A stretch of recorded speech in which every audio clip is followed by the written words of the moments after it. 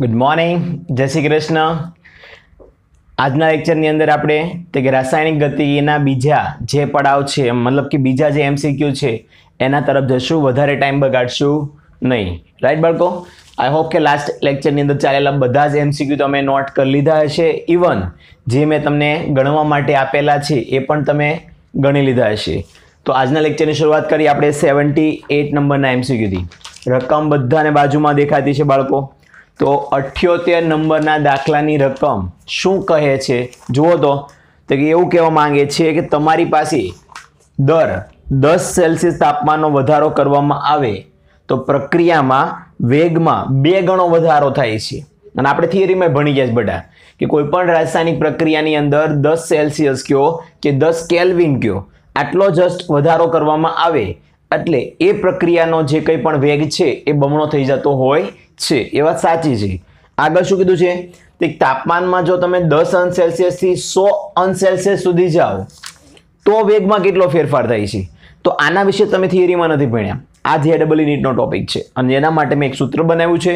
તો એ સૂત્ર પ્રમાણે તમારે સોલ્યુશન કરવાનું રહેશે. બીજા કોઈ તુક્કા મારવાના નથી. ક્લિયર બાળકો? તો રકમ પ્રમાણે એટલી તો ખબર પડી ગઈ કે દસ અંશ સેલ્સિયસ તાપમાન વધારશો તો વેગ બમણો થશે. ઓકે પછી શું કહે છે? તો દસથી મારે સો એ સુધી જવું છે. તમે ટ્રાય કરી શકો. દસથી સો સુધી જવા માટે દર દસ દસ સેલ્સિયસનો તાપમાન વધારો કરો, તો બે ગણો વધારો થવાનો છે. તો પણ તમે સો સુધી પહોંચો ને તો નવ ટાઈમ થશે. યસો નો એટલે કે વેગ કેટલો થાય છે? વેગ હંમેશા બમણો થાય છે. બેની ઘાતાંકમાં ગણવાનો થશે. આ એક લોજિકલી ટ્રીક છે. આનાથી પણ જવાબ તો આવે જ. પણ હંમેશા ફોર્મ્યુલા પ્રમાણે ચાલવાનું બેટા. ફોર એક્ઝામ્પલ કોઈ પણ પ્રક્રિયાનો વેગ તમારે શોધવો છે. કોઈ પણ પ્રક્રિયાનો વેગ શોધવો છે ને એ પણ તાપમાન આધારે. તો એ તાપમાન માટેનું સૂત્ર નોટ કરી લેજો. Two raise to delta T છેદમાં ટી. હવે ડેલ્ટા ટીના છેદમાં ટી એટલે શું? તો મેં મારી રીતે બનાવ્યું છે, તમે લખી શકો છો. ડેલ્ટા ટી છેદમાં ટી. કેપિટલ રાખજો, ઓકે? એટલે ડેલ્ટા ટી ના છેદમાં ટી. હવે સ્મોલ ટી રાખો તોય વાંધો નથી બટા, કારણ કે સેલ્સિયસમાં આપ્યું છે. ચલો. તો ડેલ્ટા ટી એટલે શું? તે તાપમાનનો તફાવત. ક્યાંથી ક્યાંનો છે? તે દસ અંશ સેલ્સિયસથી લઈ સો સુધીનો છે. કારણ કે દસથી તમે સો જવાના છો ને? તો સો માઇનસ દસ મૂકો ઉપર. શરૂઆતનું તાપમાન કેટલું હતું બેટા? તો કે દસથી શરૂઆત કરી હતી. એટલે કેનો તફાવત? મતલબ કે સોથી દસનો તફાવત મળ્યો નેવું. છેદમાં કેટલા મૂક્યા? તો શરૂઆતનું તાપમાન હતું દસ. તો એ દસનો ઝીરો અને આનો ઝીરો કેન્સલ કરો તો વધી કેટલી ઘાત? તો બેની નવ ઘાત વધી બટા. અને બેની નવ ઘાત મતલબ કેટલા થાય? પાંચસો ને બાર થાય. નવ વાર બે બે બે બે ગુણો. એ જ થશે. અને તમે જ્યારે લોજિકલી ચાલશો કે દસથી વીસ ગયો, તો વેગ બમણો થયો એક વાર. વીસથી ત્રીસ ગયો, તો વેગ થયો બે વાર. એમ સો સુધી પહોંચો તો પણ નવ ટાઈમ વેગ બમણો થાય છે. That means two raise to nine એટલે પાંચસો ને બાર ગણો વેગ વધી જાય છે. આઈ હોપ બધાને દાખલામાં ખબર પડી ગઈ છે નોટ કરી લેજો. સેવન્ટી એટ ત્યારબાદ તમારે વચ્ચેના દાખલા જે આપ્યા છે બહુ સહેલા છે. એટલે ડાયરેક્ટલી હું જવા દઉં છું એટી ટુ નંબર પર. હવે એટી ટુમાં શું આપ્યું છે? એટી ટુમાં એવું કહે છે કે તમારી પાસે, રકમ જુઓ, છ મોલારિટી એનએઓએસ છે. તમારી પાસે દ્રાવણ જે છે, એ છ મોલારિટી એનએઓએસનું છે. અને એનો અર્ધાયુષ્ય સમય વીસ મિનિટ આપેલો છે. તો જ્યારે આ દ્રાવણ ચાર મોલારિટી એનએઓએચનું હોય કેસો નો? ત્યારે એનો અર્ધાયુષ્ય સમય કેટલો થાય એવું કીધેલું છે ને મિત્રો, યાદ રાખજો, પહેલી વસ્તુ એ અર્ધાયુષ્ય સમય વીસ મિનિટ આપ્યો છે, અહીંયા અર્ધાયુષ્ય સમય શોધવાનો છે. અને બંનેમાં પ્રોડક્ટ એક જ છે એનએઓએચ તો એની સાંદ્રતા મેટર નથી કરતી. કોન્સન્ટ્રેશન સાથે કોઈ લેવા દેવા હોતું નથી. પ્રોડક્ટ કઈ છે? પ્રક્રિયક કયો છે? નિપજમાં કયું છે? અથવા તો મતલબ કે કયું છે? એના પર આધારિત છે. બે જુદા જુદા હોય તો અર્ધાયુષ્ય સમય જુદો જુદો હોઈ શકે.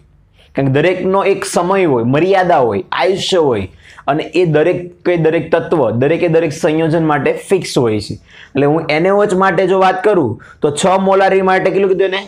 છ મોલારિટી માટે એને વીસ મિનિટનું કીધું હોય, તો બધા ચાર મિનિટ માટે પણ વીસ મિનિટ જ થાય. કેમ? તે કોઈ પણ પ્રકારની પ્રક્રિયામાં તમે નોટિસ કરજો, જો પ્રક્રિયક એકનો એક જ છે, તો ગમે તેટલી સાંદ્રતા બદલો બધા. એનો અડધો આયુષ્ય સમય એનો એ જ રહેવાનો છે. એટલે આઈ થિંક બ્યાસી નંબરમાં જવાબ આવશે બટા કેટલો? તો વીસ મિનિટ જ આવશે. ઓકે ક્વેશ્ચન નંબર ટ્વેન્ટી રિએક્શનની અંદર રિએક્ટનની કોન્સન્ટ્રેશન સાંદ્રતા ગમે તેટલી ફેરફાર થાય. અર્ધયુષ્ય સમય બદલાતો નથી. ક્લિયર ઓકે ચલો નેક્સ્ટ ક્વેશ્ચન તરફ જઈએ. તો નેક્સ્ટ ક્વેશ્ચન બેટા એટી નંબર જુઓ. પંચ્યાસી નંબરનો દાખલો શું કે છે?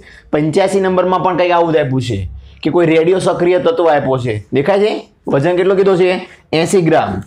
તો કે એસી ગ્રામ રેડિયો સક્રિય તત્વનો અર્ધ આયુષ્ય સમય કેટલો? તો કે દસ કલાક. તો બે ગ્રામ થાય. બે ગ્રામનો રેડિયો સક્રિય સંસ્થાનિક એનો મળે. મતલબ કે બીજું એનું સ્વરૂપ મળે. ત્યારે એનો અર્ધ આયુષ્ય સમય કેટલો થાય? મિત્રો, અહીંયા ત્રણ બાબત નોટ કરવાની. પહેલી રેડિયો સક્રિય. ભાઈ, રેડિયો સક્રિય ક્યાં આવે? પ્રથમ ક્રમની પ્રક્રિયામાં આવે. યાદ છે? યા ભૂલી ગયા?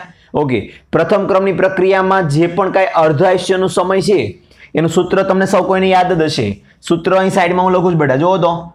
ટી વન આફ બરાબર zero point six nine three divided by K કોઈને આ સૂત્રમાં સાંદ્રતા દેખાય છે બેટા? અર્ધાયુષ્ય સમય છે. એના સૂત્રમાં કોઈ પણ જગ્યાએ સાંદ્રતા લખી છે? ભાઈ અહીં સાંદ્રતા છે જ નહીં. કોન્સ્ટન્ટ છે. Zero point six nine three પણ અને વેગ અચાંક કે પણ. મતલબ કે પ્રક્રિયાના અર્ધ આયુષ્ય સમયને સાંદ્રતા સાથે કંઈ લેવા દેવા છે નહીં. એ એનાથી સ્વતંત્ર છે. અને આપણે જસ્ટ લાઈક ઉપરના એક્ઝામ્પલમાં સોલ્વ કર્યું. એવું જ અહીંયા છે. પણ અહીંયા તમને સાંકેતિક સ્વરૂપ આપી દીધું હતું. શું? રેડિયો સક્રિય. અને તમે પ્રથમ ક્રમની પ્રક્રિયાના સૂત્રો જોઈ લેજો બેટા એમાં રહેલું અર્ધાયુષ્ય સમય એ એની સાંદ્રતાથી સ્વતંત્ર છે અને આવું આપણે એનસીઆરટીની થિયરીમાં પણ ભણ્યા. એટલે અર્ધાયુષ્ય સમય કોઈ બદલાવાનો નથી. જો ઉપર કેટલો આપ્યો હતો દસ કલાક. તો આમાં પણ કેટલો રહેશે? દસ કલાક જ જોવા મળશે. આમ એટી ફાઈવમાં તમે જોશો તો જે પ્રક્રિયકની શરૂઆતની સાંદ્રતા એસી ગ્રામ છે એનો અર્ધાયુષ્ય સમય જો દસ કલાક થતો હોય, તો બે ગ્રામ થવાથી પણ એનો અર્ધ આયુષ્ય સમય કેટલો લેશે બધા એ દસ કલાક જ લેશે. હવે આવું કેમ? તે કે રેડિયો સક્રિય જે તત્વો હોય ને, એ હંમેશા પ્રથમ ક્રમને ફોલો કરે. અને તમે પ્રથમ ક્રમની પ્રક્રિયાનું સમીકરણ જાણો છો. કોઈ સાંદ્રતા સાથે એને કંઈ લેવા દેવા છે નહીં. ક્લિયર બેટા? ચલો. કેટલા પતી ગયા? Eighty five. હવે નેક્સ્ટ જુઓ, એટી સિક્સની રકમ. તો છ્યાસી નંબરના એમસીક્યુમાં શું કહે છે? તમારી પાસે એક ફોર્મ્યુલા આપી છે. વાંચો તો. કયા ક્રમની પ્રક્રિયા છે કે જે નીચેનું સૂત્ર ફોલો કરે છે? નીચેનું સૂત્ર એટલે કયું આપ્યું છે ને તો કે એને ટી વન બાય ટુ બરાબર વન બાય કે આપેલું છે. યસો નો ઘણીવાર ઘણી વાર છે ને ડાયરેક્ટલી આ રીતે આપી દે છે. બાકી સૂત્રમાં ભૂલ તો છે જ. અહીં નીચે સાંદ્રતા પણ આવતી હોય છે. અને એ આવે આર ઝીરો. પણ એને મૂકી નથી. કેમ? કે ભાઈ, આ વનાફ છે, એને સાંદ્રતા સાથે અત્યારે કંઈ લેવા દેવા નથી. કાંઈ વાંધો નહીં. તો ટી વનાફ બરાબર શું આપ્યું છે? વન બાય કે તો હવે આ કયા ક્રમની છે? એ કેમ ખબર પડે? એકદમ સરળ. કેમ? કે તમે શૂન્ય ક્રમની પ્રક્રિયા જાણો તો છો. અને શૂન્ય ક્રમની પ્રક્રિયાનો અર્ધાયુષ્ય સમય તમારી નજરની સમક્ષ તો મેં લખ્યું છે. ટી વન બરાબર શું થાય બેટા? આર ઝીરો બાય ટુ કે યસો નો આવું આપણે લખીએ છીએ ને? ત્યારબાદ પ્રથમ ક્રમ માટે શું લખો છો? Zero point six nine three divided by K. તો આ તો બે જાણીએ છીએ. યસો નો એટલે એક ખબર પડી ગઈ, પ્રથમ અને દ્વિતીય ક્રમની શૂન્ય અને પ્રથમ ક્રમની નથી. અને એના પછીની જે આવે છે, કે જે તમારે ભણવાની આવતી નથી, પણ જી નીટના સિલેબસમાં છે, અને એ છે દ્વિતીય ક્રમની. અહીંયા સુધી તમારે ભણવાનું હોય છે. તો દ્વિતીય ક્રમની પ્રક્રિયામાં આવું થાય. અર્ધાયુષ્ય સમય બરાબર વન બાય કે તો રહે જ બધા બધામાં. જો, બધામાં વન બાય કે તો છે જ. પણ છેદમાં આવશે પ્રક્રિયકની સાંદ્રતા આર ઝીરો હવે આર ઝીરોને ધારો કે કોઈ વેલ્યુ લઈ લો વન તો વધ્યું શું બેટા? વન બાય કે જ વધ્યો ને? ટી વન બરાબર one by K that means કે આ જે અર્ધાયુષ્ય સમયની પ્રક્રિયા આપેલી છે, સૂત્ર આપેલું છે, એ દ્વિતીય ક્રમનું છે સેકન્ડ ઓર્ડરનું ખ્યાલ આવી ગયો? આઈ હોપ બધાને એમસીક્યુમાં ખબર પડતી હશે અને હું જે કંઈ લોજિક આપું છું, હું જે પણ કંઈ કન્સેપ્ટ બોલું છું, એ ખબર પડતી હશે. ધ્યાનથી સાંભળજો. એવું લાગે તો ફરી વાર એકવાર સાંભળી લેવાનો વીડિયો. પણ કન્સેપ્ટ ક્લિયર કરવાના રહેશે. ઓકે ચલો બેટા નેક્સ્ટ ક્વેશ્ચનમાં જઈએ હવે. ક્લિયર બાળકો? તો નેક્સ્ટ એક્ઝામ્પલ તરફ જઈએ. નાઇન્ટી વન ઇન્ટરેસ્ટિંગ છે. થોડો અઘરો છે. પણ આવા દાખલાઓ પણ એક્ઝામમાં પૂછાતા હોય છે. તો નાઇન્ટી વન શું કહે છે? કે તમારી પાસે પ્રક્રિયાની સક્રિયકરણ ઊર્જા આપેલી છે. કેટલી છે? છપ્પન પોઈન્ટ બે કિલો જૂલ પ્રતિ મોલ. હવે દાખલા ગણીએ ને, ત્યારે કિલો જૂલને શેમાં કરી નાખવાનું બધા? જૂલમાં. મતલબ કે દાખલા ગણતી વખતે સક્રિયકરણ ઉર્જાને હજાર વડે ગુણી કાઢવાના. ત્યારબાદ ત્રણસો ને પાંચ કેલ્વિન તાપમાન છે અને ત્રણસો કેલ્વિન તાપમાને છે પ્રક્રિયા. તો એ બેના વેગ અચળાંકો તમારે શોધવાના છે અને એનો ગુણોત્તર લેવાનો છે. અને એ સમયે આરનું મૂલ્ય તમને આઠ જૂલ લેવાનું કીધું છે. મિત્રો, વેગ અચળાંક કે વન અને કે ટુ આ બેનો ગુણોત્તરવાળું એક સમીકરણ આપણી પાસે છે. જો યાદ આવતું હોય તો log K two by K one is equal to સક્રિયકરણ ઈ એ છેદમાં બે પોઈન્ટ ત્રણસો ત્રણ આર તાપમાનને કંઈક આપણે આ રીતે દર્શાવીએ છીએ. યાદ આવતું હોય તો T two minus T one છેદમાં T one into T two આ આપણું સૂત્ર છે. હવે એ પ્રમાણે હું ચાલું, તો મારા ગુણોત્તર કે ટુ બાય કે વન શોધવાનો છે. તો log K two by K one is equal to સક્રિયકરણ ઊર્જા રકમમાં જુઓ, છપ્પન પોઈન્ટ બે, એટલે કે છપ્પન પોઈન્ટ બે અને કિલો જૂલ છે એટલે પાછળ ગુણી નાખ્યા દસની ત્રણ. છેદમાં બે પોઈન્ટ ત્રણસો ત્રણ ના બે પોઈન્ટ ત્રણસો ત્રણ મૂકો. આરની વેલ્યુ તમને આઠ લેવાની કીધી છે. તાપમાન તમે જાણો છો, તો મોટું તાપમાન માઇનસ નાનું તાપમાન કરો. ત્રણસો પાંચ માઇનસ ત્રણસો, છેદમાં ત્રણસો પાંચ ગુણ્યા ત્રણસો. આનું સાદુરૂપ આપવા જશો તો લોગ કે ટુ બાય કે વન તમને કેટલો મળે છે બેટા? સાદુરૂપના અંતે મળે છે એક પોઈન્ટ છાસઠ. અને છેદ આખાનું સાદુરૂપ આપશો, દસની માઇનસ ચારમાં જશે. ઓલરેડી દસની ત્રણ આપેલા છે. તો બધા કેટલા? દસની માઇનસ એક. ધેટ મીન્સ એકના છેદમાં દસ. તો આને એકના છેદમાં દસ વડે ડિવાઈડ કરો તો કેટલા થાય? ઝીરો પોઈન્ટ એકસો ને છાસઠ. એસો નો? અને અહીંયા આગળ જે લોગ છે સામે જાઓ તો શું થાય બેટા? એન્ટીલોગ હવે એન્ટીલોગ ઓફ ઝીરો પોઈન્ટ એકસો છાસઠ. તો એનું મૂલ્ય કેટલું બાળકો, યાદ રાખજો, ઝીરો પોઈન્ટ એકસો છાસઠ કીધા છે. ઓકે તો એ અરાઉન્ડ કોની વચ્ચે આવી શકે? તો તમને બધાને ખબર જ છે કે લોગ એક એટલે ઝીરો થાય. એન્ટીલોગમાં અને લોગમાં કાઢવો હોય તો કેવી રીતના કાઢી શકાય તુક્કો મારવાનો. પણ કેવો તુક્કો મારવાનો? તો લોગ એકનું મૂલ્ય કેટલું થાય? ઝીરો ત્યારબાદ લોગ બે કેટલા થાય? તો પોઈન્ટ ત્રીસ દસ. યસ ઓનો અને જવાબ કેટલો આવેલો છે? પોઈન્ટ એકસો છાસઠ. પોઈન્ટ એકસો છાસઠ. પોઈન્ટ એકસો છાસઠ એ કોણ છે?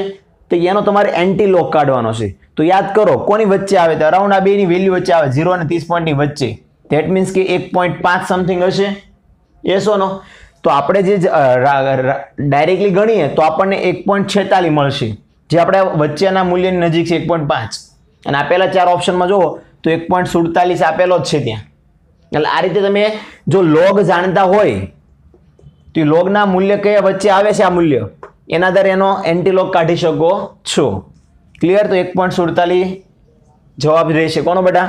નાઇન્ટી વનનો હવે ત્યારબાદ તમે આ રકમ જોશો તો તમને દેખાશે કે નાઇન્ટી ટુની રકમ કેટલી મોટી છે બધા તો એ બાણું નંબરનો જે પણ કાંઈ એક્ઝામ્પલ આપ્યો છે, એમાં જુઓ તો બધા શું કહે છે કે હાઇડ્રોજન પેરોક્સાઇડનું ઉદ્દીપક વડે જો વિઘટન કરી અભ્યાસ કરવામાં આવે, તો શું જોવા મળ્યું? તો કે ઝીરો પોઈન્ટ વન નોર્માલિટીવાળો કેમેનો કેમેનોફોર છે? પોટેશિયમ પર મેગ્નેટ છે. કે જેના દ્રાવણ વડે તમે અલગ અલગ પૃથ્થકરણ કરો છો. તમે લેબમાં ગયા છો ને બેટા તો અહીંયા બ્યુરેટ અને કોનિકલ ફ્લાક્સ હશે. તો એમાં શું કહે છે? તે કેમેનોફોરનું અલગ અલગ સાંદ્રતાએ હાઇડ્રોજન પેરોક્સાઇડ સાથે અનુમાપન કરો છો. હાઇડ્રોજન પેરોક્સાઇડ સાથે તમે કેમેનોફોર દ્વારા શું કરો છો? અલગ અલગ સાંદ્રતાએ માપન કરો છો. તો માપન કરો છો અલગ અલગ સાંદ્રતાએ, તો અલગ અલગ પ્રયોગના પરિણામો મળ્યા છે ને? તો જો નીચે મળેલા જ છે. અને એ પરિણામો પરથી જો આલેખ દોરવામાં આવે, કોની વિરુદ્ધ કોનો? તે એક તો લોગ હાઇડ્રોજન પેરોક્સાઇડ વિરુદ્ધ સમયનો. તો આપેલા ચારમાંથી કયો સાચો પડે? બટા દાખલો છે જ નહીં. મેં તમને જે મટીરિયલ આજે આપેલું છે, એ મટીરિયલની અંદર શરૂઆતમાં જોશો તો પ્રથમ ક્રમની પ્રક્રિયાના આલેખો આપેલા છે. જેમાં તમે એક આલેખ આ ચારમાંથી જોઈ શકો છો, એ કયો છે? તો કે એની જે સાંદ્રતા છે, એનો લોગ લઈ લો. એટલે કે લોગ સાંદ્રતા વિરુદ્ધ સમયનો આલેખ દોરો, તો કંઈક આ પ્રમાણે નીચેની સૂર્યરેખા રેખા તમને જોવા મળે છે. એટલે આ વસ્તુ એવી છે યાદ રાખવાની છે કે જ્યારે પણ લોગ આર ઝીરો વિરુદ્ધ સમયનો આલેખ દોરાય છે. ત્યારે આલેખ હંમેશા એનો નીચેની ઢાળમાં હોય. પછી શૂન્ય ક્રમ હોય કે પ્રથમ ક્રમ હોય બેટા. બે માટે જ લાગુ પડે છે. એટલે તમારે ખાસ તો એના આલેખો જે આગળ માહિતી માટે નથી આપ્યા, જોવા માટે નથી આપ્યા, યાદ રાખવા માટે આપ્યા છે. એટલે આવડા મોટા દાખલા ગણવા જ ન પડે. અને એના આધારે આલેખ કેમ શોધાય? તો કે આલેખ તો થિયરિકલ છે. જે આપણે જાણીએ છીએ, તો દાખલો ગણવાનોમાં રહેતો નથી. કયા એક્ઝામ્પલની વાત કરી બધા મેં? નાઇન્ટી ટુ તો ત્યારબાદ હવે આપણે જઈશું. નાઇન્ટી થ્રી નંબરના એક્ઝામ્પલ પર. તો સૌ કોઈ નાઇન્ટી થ્રીના એક્ઝામ્પલની રકમ વાંચો બેટા તમારી પાસે એક પ્રક્રિયા છે. Two time P plus Q is gives to નિપજ yes નો અને એવું કે છે કે આ પ્રક્રિયાનો વેગ પણ તમને આપી દીધો છે. વેગ બરાબર શું આપ્યું છે? કે પીનો સ્ક્વેર ક્યુ આ પ્રમાણે છે. હવે એવું કે છે, શરૂઆતના કદ કરતાં અચાનક જ કદ અડધું થઈ જાય છે. ધારો કે આ શરૂઆતનો વેગ આર વન હોય, આ કે છે, આ પીનો સ્ક્વેર છે યસ નો બેટા? આ ક્યુ છે. હવે જે નવો પ્રક્રિયાનો વેગ મળે છે આર ટુ એમાં અચાનક આ બધાની સાંદ્રતા અડધી થઈ જાય બેટા. તો આને શું કહેવાય? કે અડધી મીન્સ તે કાંઈ કેટલી છે પી બાય ટુ સ્ક્વેર અને અહીંયા આવશે Q by two yes no ચલો. આર ટુ બરાબર કેટલા બહાર આવશે? પેલા બહાર આવતા ખેંચી લો. એકના છેદમાં બેનો વર્ગ એટલે એકના છેદમાં ચાર. અહીં બે બાર આવવાના છે. તો વધ્યું કોણ? કે. પીનો વર્ગ ક્યુ. હવે તમે સૌ કોઈ જાણો છો બાળકો કે અહીંયા જે સૂત્ર મળ્યું, એ સૂત્ર કઈ રીતે છે? કે આખે આખું સૂત્ર છે ને, એ જો અહીં આર વન છે. યસ ઓનો તો અહીં જો બાજુમાં લખું જ બેટા, ધ્યાનથી જોજો. આર ટુ બરાબર એકના છેદમાં, આનો કેટલો ગુણાકાર થાય બેટા? આઠ. R one. પ્રશ્ન વાંચો. એવું કહે છે શરૂઆતના વેગની સાપેક્ષમાં કેટલો ઘટાડો થયો છે? તો શરૂઆતનો વેગ કોણ હતો? આર વન યસો નો તો શરૂઆતની વેગની સાપેક્ષમાં આર ટુમાં કેટલો ઘટાડો થયો? તે કંઈ દેખાય છે? વન બાય એટ એટલે કે આઠ ગણો ઘટાડો થયો. વન બાય એટ નહીં થયો. આઠ ગણો ઘટાડો થયો. કેમ તે જુઓ. આર વન બરાબર થશે એટ ટાઈમ આર ટુ હવે શરૂઆતનો આર વન જેટલો તમારે પછીનો આર ટુ કરવો હોય, તો એને આઠ ગણો કરવો પડે. એટલે કે આના કરતાં આ આઠ ગણો ઘટેલો છે ત્યાં. ઓકે બાળકો? નાઇન્ટી થ્રી નંબર એમસીક્યુ અહીંયા પૂર્ણ. હવે આપણે જોઈએ આગળ બીજા એમસીક્યુ ક્લિયર ચલો નેક્સ્ટ ક્વેશ્ચનમાં જઈએ. તો નાઇન્ટી ફોર નંબરનો એક્ઝામ્પલ શું કહે છે? રકમ વાંચો બેટા. A plus B is gives to નિપજ આપી છે અને પ્રક્રિયાનો વેગ પણ આપ્યો છે. જો તો પ્રક્રિયાનો વેગ કેટલો છે?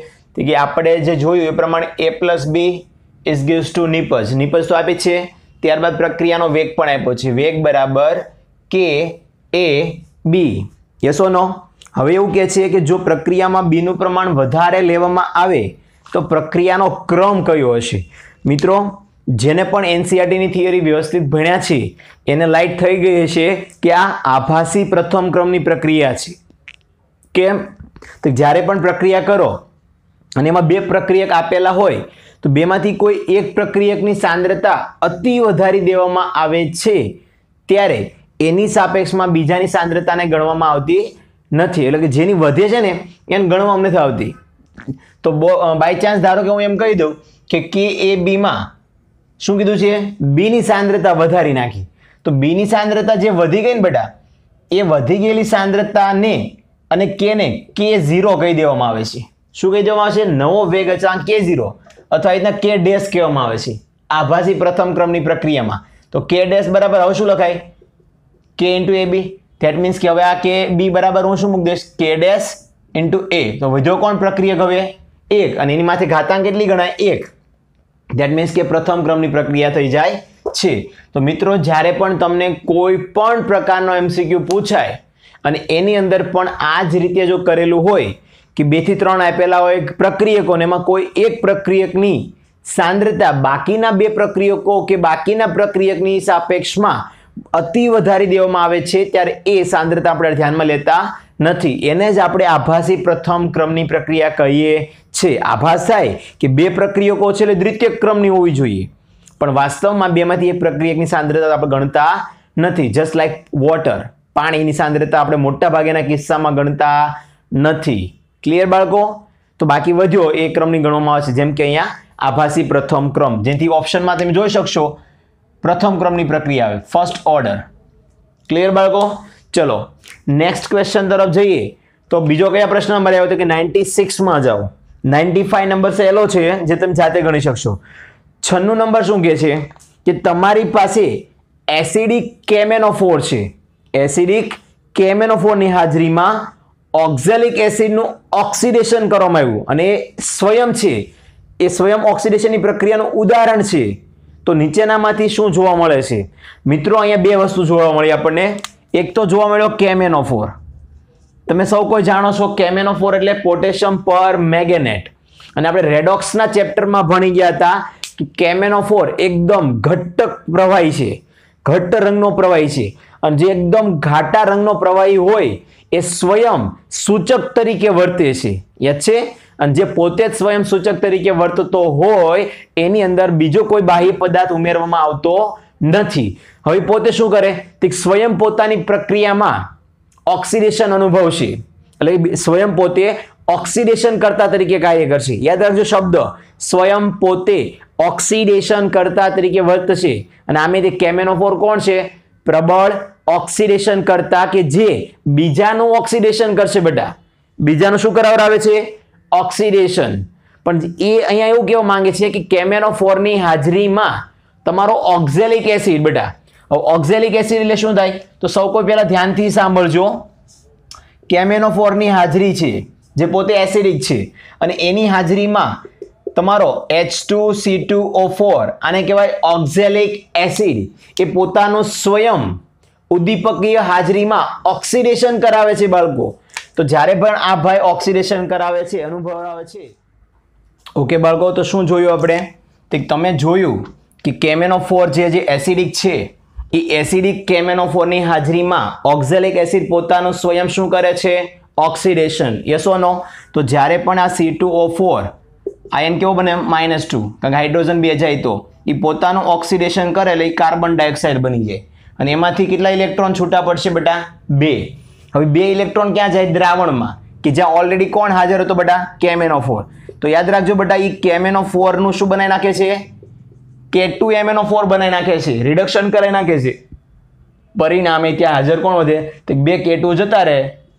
તો માઇનસ ટુ ધેટ મીન્સ કે એમેનો ફોર માઇનસ ટુ વધે છે. હંમેશા યાદ રાખજો કે કેમેનો ફોર કે જે પોતે સ્વયં એટલો ઘેરા રંગનો હોય છે કે જે સ્વયં હંમેશા પ્રક્રિયામાં સૂચક તરીકે વપરાય. પછી કોઈ પણ દ્રાવણ હોય બધા.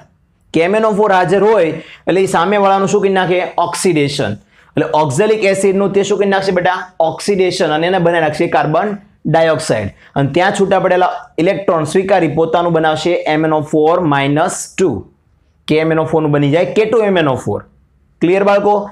કેટલા નંબર એમસીક્યુ પૂર્ણ થઈ ગયો અહીંયા? તો કે એમસીક્યુ નંબર નાઇન્ટી સિક્સ અહીંયા પૂર્ણ થાય છે. હવે ત્યારબાદ અઠ્ઠાણું નંબરનો પ્રશ્ન જુઓ. તો અઠ્ઠાણું નંબરનો પ્રશ્ન શું કહે છે? કે જો કેટલીક પ્રક્રિયાઓમાં, જો કેટલીક પ્રક્રિયાઓમાં શરૂઆતની સાંદ્રતા બે ગણી કરવા જઈએ, તો તેનો અર્ધ આયુષ્ય સમય પણ બે ગણો વધી જાય છે. હવે બાળકો, આવું ક્યારે થાય? કે એનો અર્ધ આયુષ્ય જે સમય છે હાફ ટાઈમ સાયકલ રાઈટ તો એ અર્ધ આયુષ્ય સમય ક્યારે બે ગણો થાય કે પ્રક્રિયકની સાંદ્રતા બે ગણી કરો ને ત્યારે. તો એનસીઆરટીમાં તમને મેં એકદમ વ્યવસ્થિત ભણાવેલું છે અને એક સૂત્ર પણ આવે છે. ટી વનાફ બરાબર R zero T one half is directly proportional to R zero મતલબ કે તમારી પ્રક્રિયાનો જે અર્ધ આયુષ્ય સમય છે, એ પ્રક્રિયકની સાંદ્રતાના કેવા પ્રમાણમાં છે બેટા? સમ પ્રમાણમાં હવે સાંદ્રતા બમણી કરું તો અર્ધ આયુષ્ય સમય પણ કેટલો થાય બેટા? બે ગણો થાય ને? તો આ સૂત્ર કોનું છે? કે આ સૂત્ર શૂન્ય ક્રમની પ્રક્રિયાનું છે. એ જ રીતે પ્રથમ ક્રમની પ્રક્રિયાનું તમે જાણો છો. Zero point six nine three divided by K. પણ અહીં પ્રથમ ક્રમ જવાબ નહીં આવે. કેમ? કે ભાઈ પ્રથમ ક્રમની પ્રક્રિયાને તો સાંદ્રતા સાથે કંઈ લેવા દેવા જ નથી. સાંદ્રતાથી તે સ્વતંત્ર છે. એટલે સાંદ્રતા બે ગણી કરો, દસ ગણી કરો, એને કોઈ ફરક પડે નહીં. ક્યાં? ફર્સ્ટ ઓર્ડરમાં, પ્રથમ ક્રમમાં. પણ જો શૂન્ય ક્રમની હોય, તો યાદ રાખજો બાળકો, શૂન્ય ક્રમમાં અર્ધ આયુષ્ય સમય એ એની સાંદ્રતાના સમ પ્રમાણમાં છે. માટે ત્યાં હંમેશા જેટલો વધારો ઘટાડો થશે, એટલો બે ઇક્વલી થતો હોય છે. ક્લિયર બાળકો? યસો નો ચલો, કેટલા નંબર પૂરો અહીંયા? નાઇન્ટી એટ ત્યારબાદ આપણે જઈએ નવ્વાણું નંબરના પ્રશ્નમાં. તો નાઇન્ટી નાઇન નંબરનો પ્રશ્ન શું કહે છે? તો નવ્વાણું નંબરનો પ્રશ્ન એવું કહે છે કે તમારી પાસે એક પ્રક્રિયા છે એ પ્લસ ટુ બી પ્રક્રિયા કઈ આપી છે? A plus two B is gives to C plus two ડીમાં C plus two ડીમાં શરૂઆતી પ્રક્રિયાનો વેગ. જો તો, એ આપેલો છે. વેગને કઈ રીતે દર્શાવ્યો છે લોકોએ? માઇનસ ડી એના છેદમાં ડીટી કારણ કે વેગને એવી રીતે પણ દર્શાવી શકાય ત્વરિત વેગના સ્વરૂપે. તો એ ત્વરિત વેગ ટી બરાબર ઝીરો સમયે કેટલો આપ્યો છે? તો કે બે પોઈન્ટ છ ગુણ્યા દસની માઇનસ બે. અને હવે એવું કહે છે કે આ જ સમયે પ્રક્રિયક બીનો વેગ શોધો. તો બાળકો, યાદ રાખજો, પહેલા તો તમારે પ્રક્રિયકોનું સમીકરણ લખવાનું અહીંયા. એ પ્લસ ટુ બી જો દાખલો કેવી રીતના ગણાય તમને શીખવાડું છું. કે પ્રક્રિયક એ પ્લસ ટુ બીનો વેગ શોધો પહેલા. તો કોઈપણનો વેગ બનાવો હોય ને, તો એના વેગ બરાબર શું લેવાનું? તે કે એનો ત્વરિત વેગ બરાબર થાય, પ્રક્રિયક હોય તો માઇનસ એ છે તો ડી એના છેદમાં ડીટી એ જ રીતે એના બરાબર કોણ થાય? તો કે એનો બીજો પ્રક્રિયક થાય. બરાબર. પણ એ ટુ છે. તો ટુને હંમેશા જો માઇનસ તો આપણે એટલે લખીએ છીએ કે પ્રક્રિયક છે. અને ટુ છે તો એને છેદમાં લખવાના. એટલે વન બાય ટુ ડીબીના છેદમાં ડીટી મારે કોનો શોધવાનો છે? ડીબીના છેદમાં ડીટી વેગ શોધવાનો છે. બીનો વેગ. તો આ ટુને ક્યાં જવા દેવાય? સામે. કારણ કે બંને ઇક્વલી જ છે. તો ડીબી અને ડીટીને કરતા કરું, તો બે છેદમાંથી સામે જાય, તો આ બે ગણો વેગ થયો. કોનો? તો કે ડીબીનો વેગ એ તમારા પ્રક્રિયક એના વેગ કરતાં બે ગણો છે. હવે એનો વેગ તો આપેલો છે. બે પોઈન્ટ છ ગુણ્યા દસની માઇનસ બે. એને કેટલા ગણો કરો? બે ગણો. એટલે પાંચ પોઈન્ટ બે ગુણ્યા દસની માઇનસ બે જવાબ તમને મળશે. ક્લિયર કેટલા નંબર પૂરા બેટા? નાઇન્ટી નાઇન જો યાદ રાખજો, તમને જેટલા પણ દાખલાઓ મેં ગણાવ્યા છે એ બધા તમારે વ્યવસ્થિત નોટમાં ઉતારવાના છે, ઓકે? સો નંબરનો જોવા જઈએ તો સહેલો છે. આઈ થિંક તમે જાતે ગણી શકો એમ છો. તો આજના લેક્ચરમાં એમસીક્યુ નંબર હંડ્રેડ સુધી રાખું છું. અને ધ્યાન રાખજો, મગજને વાપરજો, થોડું ભણવામાં ધ્યાન આપજો, નકર કાટ લાગી જશે. કારણ કે ઓનલાઈન એજ્યુકેશનમાં ઘણા બાળકો હજી ધ્યાન નથી આપતા બેટા. તો શક્ય બને ત્યાં સુધી બધાનું ધ્યાન વિડીયોમાં હોવું જોઈએ. વ્યવસ્થિત કોન્સન્ટ્રેશન સાથે બધી મેથડો જોઈ લો. કારણ કે આ મેથડો બીજી વાર તમને કોઈ સમજાવશે નહીં બાળકો. તમારી પાસે ટાઈમ પણ નહીં રહે. ઓકે? એટલે પોતાનું ભવિષ્ય પોતાના હાથમાં જ છે બાળકો. આપણું ભવિષ્ય કોઈ બીજું સુધારી નથી જવાનો. તો બધાને એક વિનંતી કરું છું કે દરેક બાળક પોતાનું હોમવર્ક દરેક કાર્ય ટાઈમ ટુ ટાઈમ પૂર્ણ રાખો અને થોડા થોડા ટાઈમ પછી એનું પુનરાવર્તન કરતા રહ્યો બાળકો. તમને કોઈ કહેવા નહીં આવે કે ચલો આટલો ટાઈમ થઈ ગયો છે, આટલા ચેપ્ટર ચાલી ગયા છે, તો એનું રિવાઇઝ કરો. એ આપણે જાતે સેલ્ફ સ્ટડીમાં સમજવું પડશે કે દર પંદર દિવસે એક ચેપ્ટરનું પુનરાવર્તન કરો. પછી એ કોઈ પણ સબ્જેક્ટનું હોય. એ ચેપ્ટર પુનરાવર્તન થઈ ગયા પછી એના એમસીક્યુ જુઓ. જે નોટ બનાવી છે, નોટને વ્યવસ્થિત જુઓ. એમાં રહેલા એમસીક્યુને ફોલોઅપ કરો. અલગ અલગ પ્રકારના નવા એમસીક્યુ જુઓ બટા. તો જ માઇન્ડ તમારું દોડશે. તો જ તમે આ બધી મેથડો લોંગ ટાઈમ સુધી યાદ રાખી શકશો. નહીતર શું થશે? મગજ પર કાટ ખવાઈ જશે બટા. સમજ પડી? ઓકે. તો આઈ હોપ આજના જેટલા એમસીક્યુ ચાલ્યા છે એ પણ નોટ કરી લેજો. જે બાકી રાખ્યા વચ્ચે છે એ પણ તમારે ગણતરી કરીને નોટ કરવાના. રહેશે. જો કોઈ દાખલામાં કોઈ એમસીક્યુમાં તમને ડાઉટ છે, તમે મારો કોન્ટેક્ટ કરી શકો છો બેટા. ચલો થેન્ક યુ જય શ્રી કૃષ્ણ. આવજો.